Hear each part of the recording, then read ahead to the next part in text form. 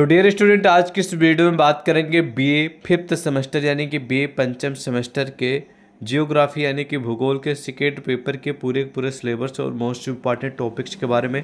तो जिन जिन भी यूनिवर्सिटी या कॉलेज में आने वाले दिनों में स्टूडेंट की जियोग्राफी यानी भूगोल की परीक्षा होगी, उनको कंप्लीट वीडियो ज़रूर देखनी चाहिए। उनको इस वीडियो से फ़ायदा ये होगा कि आपको पता चलेगा ना, जो क्वेश्चन आप की परीक्षा में आएँगे क्वेश्चन पेपर जो मिलेगा, उसमें जो क्वेश्चन होंगे, वो कहाँ से आएँगे, किन टॉपिक्स से आएँगे तो वही मैं आपको बताने वाला हूँ। जो मैं टॉपिक्स आपको मोस्ट इंपॉर्टेंट बताने वाला हूँ सिलेबस बताने वाला हूँ, सारे प्रश्न यहीं से आएँगे, इससे बाहर कुछ भी नहीं आएगा। तो यदि आपको उन चीज़ों के बारे में पहले से मालूम रहेगा सिलेबस और टॉपिक्स के बारे में तो आपको तैयारी करने में समस्या नहीं होगी। और जब भी आपको क्वेश्चन पेपर मिलेगा तो आपको ये कन्फ्यूज़न नहीं रहेगा या फिर आपको नया नया नया नया नहीं लगेगा कि हाँ ये तो क्वेश्चन नया है, हमने तो उसको पढ़ा ही नहीं कभी, हमने तो देखा ही नहीं। तो ये सब आपको नहीं लगेगा। और आपको जानकारी भी हो जाएगी क्या क्या आएगा। तो चलिए शुरू करते हैं। प्रूफ के तौर पे देख लीजिए, वर्ष आपका तृतीय है, यानी कि बीए थर्ड ईयर है सेमेस्टर आपका फिफ्थ है। ठीक है? और सब्जेक्ट आपका जो जियोग्राफी है सेकेंड पेपर है, और प्रश्न पत्र यानी क्वेश्चन पेपर का नाम है basic of remote sensing and GIS जो जितने भी क्वेश्चन होंगे, वो रिमोट सेंसिंग एंड जीआईएस से होंगे, और जितने भी सब्जेक्ट होते हैं, वो हर जितने भी सब्जेक्ट होते हैं, चाहे जियोग्राफी ले लीजिए, चाहे राजनीति, यानी कि पोलिटिकल साइंस ले लीजिए सोशोलॉजी ले लीजिए, हिंदी, सभी आठ चैप्टर में डिवाइड होते हैं। आप उन्हीं को चैप्टर बोले यूनिट बोले टॉपिक्स बोले, सब एक ही है, ठीक है? तो ये पूरा का पूरा सिलेबस भी आठ यूनिट आठ चैप्टर में ही डिवाइड है, ठीक है? और ये पूरा का पूरा चैप्टर और टॉपिक्स जो है, वो सिलेबस जो है, वो इंग्लिश में है। आपको अच्छे से समझा सके, आप अच्छे से समझ सके, इसलिए पूरे पूरे सिलेबस को मैंने हिंदी में कन्वर्ट कर रखा है, ठीक है? वही मैं आपको बताने वाला हूँ। ये वही सिलेबस है, बस हिंदी में कर रखा है मैं आप लोगों को, आप लोगों के लिए, ठीक है? ताकि आप समझ सके अच्छे से। तो पहले यूनिट से जुड़े क्वेश्चन आएँगे कि रिमोट सेंसिंग क्या है। रिमोट सेंसिंग की परिभाषा बताइए, प्रकार बताइए, दायरा बताइए और ऐतिहासिक विकास क्या है, उपग्रहों के प्रकार बताइए। तो सबसे पहले कौन कौन से प्रश्न बन सकते हैं, उनकी जानकारी देते हैं, फिर इसके बारे में परिचय आपको बताते हैं। पहला प्रश्न ऐसा आपको देखने को मिल सकता है फ़र्स्ट यूनिट से, कि रिमोट सेंसिंग क्या है। रिमोट सेंसिंग के प्रकार बताइए। रिमोट सेंसिंग का दायरा और इसका इतिहास जो है वो कहाँ तक है? और इसके विकास के बारे में बताए। ऐतिहासिक विकास, यानी पहले इसका कैसे कैसे विकास हुआ? और उसके बाद अगला जो टॉपिक इसी में, वो उपग्रहों के प्रकार बताइए, ठीक है? ठीक है तो यहाँ से प्रश्न बनेंगे। उपग्रहों के प्रकार एक हो गया, रिमोट सेंसिंग की परिभाषा दो हो गया, प्रकार तीन हो गया, दायरा और ऐतिहासिक विकास, ये चार हो गया। तो इस प्रकार चार क्वेश्चन बन सकते हैं फ़र्स्ट यूनिट से संबंधित, ठीक है? जिसमें से रिमोट सेंसिंग रिमोट सेंसिंग यही आपके प्रश्न पत्र का नाम है तो रिमोट सेंसिंग के बारे में आपको जानकारी होनी चाहिए तो ध्यान से सुन लीजिए। तो ध्यान से सुन लीजिए रिमोट सेंसिंग जो है, वो दूर से जानकारी या फिर आप लोग कह सकते हैं, सूचना प्राप्त करने की एक प्रक्रिया है, ठीक है, जिसको रिमोट सेंसिंग कहते हैं। फिर से सुन लीजिए रिमोट सेंसिंग एक प्रक्रिया है, जिसके माध्यम से दूर से उस चीज़ के बारे में जानकारी और सूचना को कलेक्ट करना ही रिमोट सेंसिंग कहलाता है। एग्ज़ाम्पल के रूप में जैसे कि मान लीजिए कि आप ड्रोन के माध्यम से आजकल ड्रोन चले नहीं हैं तो ड्रोन के माध्यम से ऊपर जाके जैसे ड्रोन कैमरा आपने देखा होगा ना तो ड्रोन कैमरा के माध्यम से आसमान के मतलब कि पृथ्वी से ऊपर ड्रोन को ले जाके और नीचे पृथ्वी की जो सतह होती है उन चीज़ों को देखना कि पृथ्वी पर आ, जो मतलब कि कहाँ पर गाँव है, कहाँ पर शहर है, कहाँ पर नहर है, कहाँ पर नदी है, कहाँ पर स्कूल है, ठीक है? कहाँ पर क्या है तो इन सभी की जानकारी आपको दूर से ही हो जा रही ना, कि कहाँ पर क्या है। तो इसी को कहेंगे रिमोट सेंसिंग ठीक है? तो ये हो गया रिमोट सेंसिंग इसकी परिभाषा, ठीक है? और इसके प्रकार के बारे में पढ़ लेना आपको, दायरा और ऐतिहासिक, ठीक है? ये इंपॉर्टेंट टॉपिक्स हैं, जहाँ से प्रश्न बनेंगे। हालाँकि इनके बारे में हम आपको बता देंगे कि इनका उत्तर कहाँ पर मिलेगा। जैसे ये है कि उपग्रहों के प्रकार बताइए। तो उपग्रह दो प्रकार के होते हैं प्राकृतिक, एक कृत्रिम। प्राकृतिक का मतलब होता है कि भाई नेचुरल जो प्राकृतिक दिन होता है, भगवान के, ठीक है? और जो कृत्रिम होता है, वो मानवकृत होता है, ठीक है? यानी कि मानव के द्वारा जो प्रयास किए जाते हैं, वो होते हैं, ठीक है? तो उपग्रह दो प्रकार के होते हैं, प्राकृतिक तो प्राकृतिक और कृत्रिम ध्यान रखेंगे। सेकेंड यूनिट में आपको विद्युत चुंबकीय विकरण से संबंधित क्वेश्चन आएँगे कि विद्युत चुंबकीय विकरण क्या है, विशेषताएँ बताइए, ठीक है? और रिमोट के चरण या प्रक्रिया संवेदन बताइए। रिमोट के चरण कितने होते हैं? रिमोट की प्रक्रिया बताइए, ठीक है?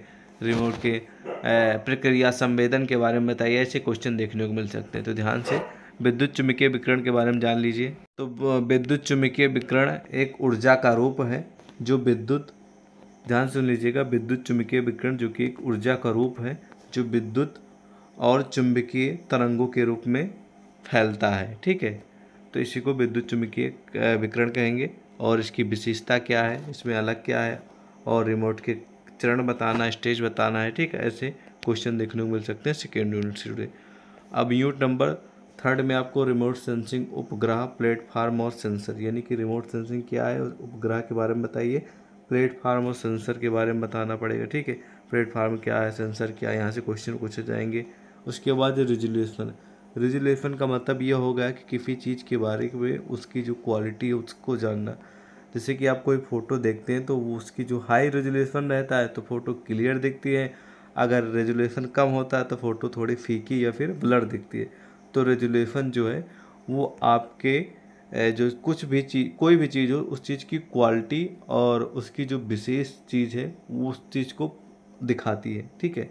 तो रेजुलेशन के बारे में लिखना पड़ेगा कि स्थानिक ठीक है स्पेक्ट्रल और टेम्पोरल रेडियोमेट्रिक संकल्प हालाँकि क्वेश्चन यहाँ से बहुत कम आएँगे, लेकिन रेजुलेशन जुड़ा जुड़ा क्वेश्चन आएगा।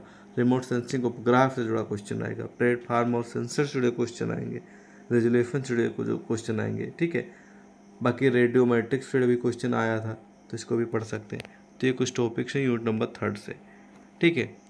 अब यूनिट नंबर फोर में आपको रिमोट सेंसिंग डेटा प्रोसेसिंग और अनुप्रयोग। रिमोट सेंसिंग का मतलब मैं आपको बता ही चुका हूँ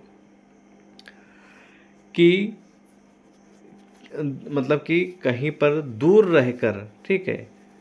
उस दूर रहकर भी जानकारी और सूचना को कलेक्ट करना या फिर कलेक्ट करने की जो प्रक्रिया है जानकारी लेने की प्रक्रिया है दूर से उस चीज़ के बारे में जानकारी लेना वही होता है रिमोट सेंसिंग साफ़ शब्दों में तो कहें तो दूर आ, से ही किसी के बारे में जानकारी कलेक्ट करना प्राप्त करना ही रिमोट सेंसिंग है।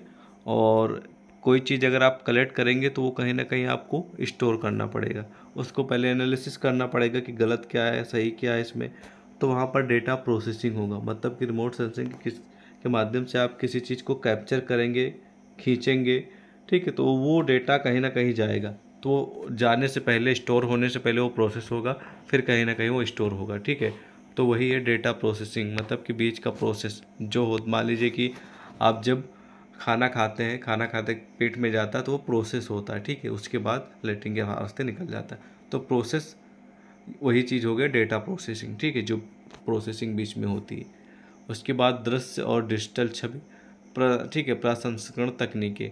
भाई किसी चीज़ को डिजिटल माध्यम से, जैसे फ़ोटो खींच गया तो फ़ोटो वो आपको डिजिटल माध्यम से खींच गया तो छवि आपको दिखेगी, ठीक है?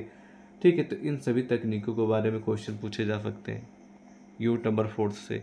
अब यूट नंबर फाइव में आपको शहरी नियोजन में रिमोट सेंसिंग अनुप्रयोग मतलब कि शहरी जो क्षेत्र है, उसमें रिमोट सेंसिंग का अनुप्रयोग, यानी कि ड्रोन के माध्यम से कैमरा के माध्यम से, ठीक है? और भी कई सारे उपकरण होते हैं जिनके माध्यम से दूर रहकर या ऊपर से रिमोट सेंसिंग के माध्यम से उस चीज़ के बारे में जानकारी मिलती है। जैसे कृषि के बारे में आजकल आपने देखा होगा टेक्नोलॉजी यहाँ तक बढ़ गई है कि आप खेत में, देखिए, पहले क्या होता था, खाद डालना, दवाई डालना, खेत में लोग जाके ठीक है मैनुअली डालते थे, लेकिन अब तो मशीन आ गई है जो कि ड्रोन वाली मशीन आ गई।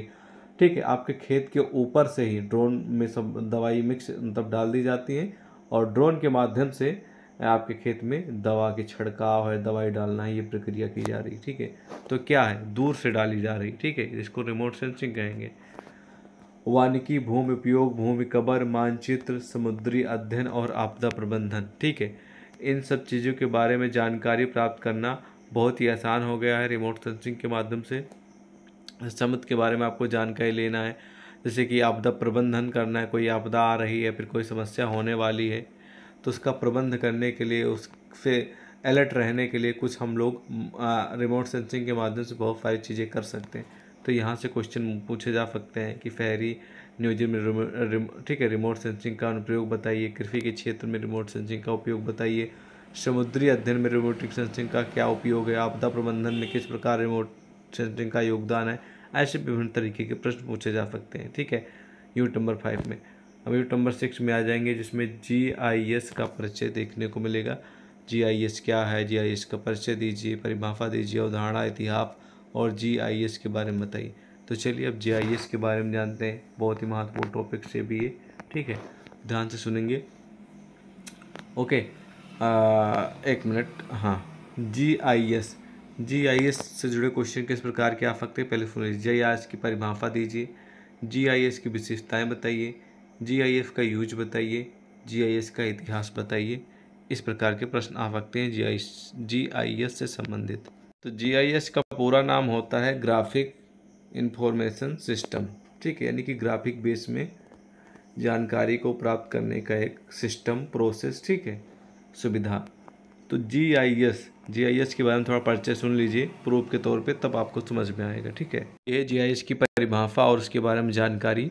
तो जी आई एस का पूरा नाम मैंने आपको बता ही रखा है, ठीक है? ग्राफिक इंफॉर्मेशन सिस्टम जिसको हिंदी में भौगोलिक सूचना प्रणाली बोलते हैं। जी आई एफ़ एक कंप्यूटरीकृत तकनीकी मतलब कि कंप्यूटर के माध्यम से की जाने की एक प्रोसेस है, एक टेक्नोलॉजी तकनीक है, जो डेटा को प्रबंधित करने और एकीकृत करने के लिए एक ढांचे के रूप में भौगोलिक सूचना प्रणाली का उपयोग करती है। मतलब कि जो आपका डेटा है, उसको पहले एकत्र करता है प्रबंध करता है, ठीक है?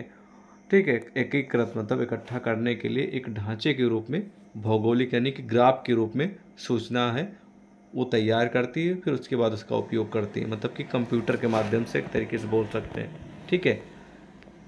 कोई डाटा आप कैप्चर करेंगे, कैप्चर करने के बाद उसका एनालिसिस होगा, यानी कि प्रोसेस होगा, फिर उसको कहीं ना कहीं आप स्टोर करेंगे, ठीक है? इकट्ठा करेंगे। तो वही सब चीज़ जो होता है, वही होता है जी आई एस मतलब कि ग्राफिक मतलब ग्राफ के रूप में जैसे फ़ोटो सोटो ठीक है? उस चीज़ की इन्फॉर्मेशन आपको कलेक्ट करना होता है और इकट्ठा करना होता है, ठीक है सिस्टम तो ये होता है इसमें। ओके? फिर कह सकते हैं किसी चीज़ को ग्राफ के रूप में, फ़ोटो के रूप में, उसके बारे में जानकारी लेना कि ये कैसे है? जैसे कि आप कोई फ़ोटो देख लेंगे ना किसी भी एक्टर की या फिर किसी एक्टर, एक्टर्स की, किसी क्रिकेटर की तो आपको परिचय आप उसका दे पाएँगे कि हाँ ये इस तरह का इंसान है, ये ऐसे इसका पॉपुलरिटी इतनी इसने इतने मैच खेले हैं, इसका घर यहाँ है, ये ऐसे वैसे। तो ये आप जानकारी पा जाएँगे, किसी माध्यम से पा जाएँगे, ग्राफिक के माध्यम से पा पा जाएँगे। अगर कोई बोल दे क्रिकेटर तो क्रिकेटर में बहुत लोग आ जाएँगे। किसका परिचय आप देंगे? तो ये बहुत ही इंपॉर्टेंट क्वेश्चन जीआईएस का परिचय जीआईएस की परिभाषा, इसकी अवधारणा और इसका इतिहास। ठीक है, ये आपको तैयार करना पड़ेगा जहाँ से प्रश्न बनेंगे।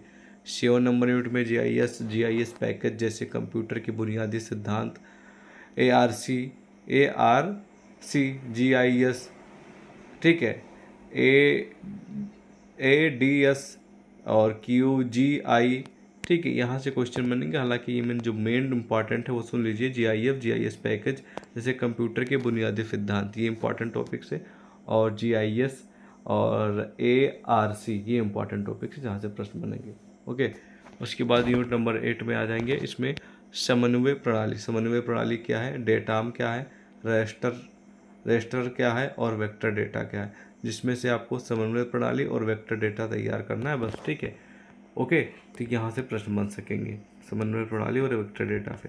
तो ये पूरा का पूरा जो सिलेबस है टॉपिक से यहीं पर समाप्त होता है। इन्हीं आठ यूनिट और आठ चैप्टर से जुड़े क्वेश्चन पूछे जाएँगे। इससे बाहर का कुछ भी नहीं आएगा, ठीक है? इस बात को ध्यान रखेंगे बाकी दो तीन बार वीडियो को देखेंगे तो आपको अच्छी से और भली बात समझ में आ जाएगा, ठीक है? और इन सभी का उत्तर आप इंटरनेट पर सर्च करके पढ़ सकते हैं। बाकी हमारी जो आने वाले दिनों में वीडियोज़ होंगी, उसमें इन सभी प्रश्नों के क्वेश्चन भी होंगे और साथ साथ में उत्तर भी होगा। ठीक है तो आपको तैयारी करने में आसानी होगी। लेकिन अब इसमें थोड़ा टाइम है, लेकिन जल्दी आ जाएगी।